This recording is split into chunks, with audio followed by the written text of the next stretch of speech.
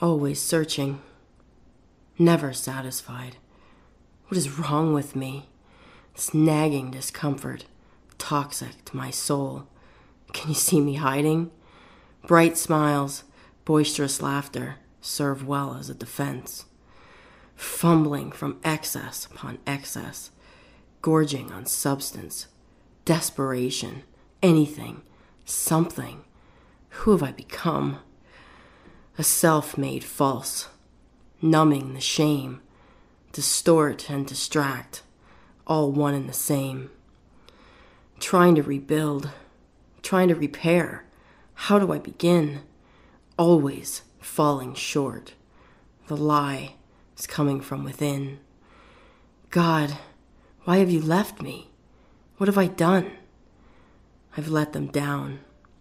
No recourse, no resource. I cannot stay. What have I become? Begging for crumbs. My sense of self so far obliterated, this carbon copy of a former self I do not recognize. So much fear. In my sick little way, what a sense of relief, a decision to die, pain beyond belief. Empty and cold, I set out on my mission, this task at hand. The sun shone brightly as the tears filled my eyes. Onto the highway, over the bridge. The pressure was building as I held my eyes shut. God, I can't do this. What do I do? What a defining moment.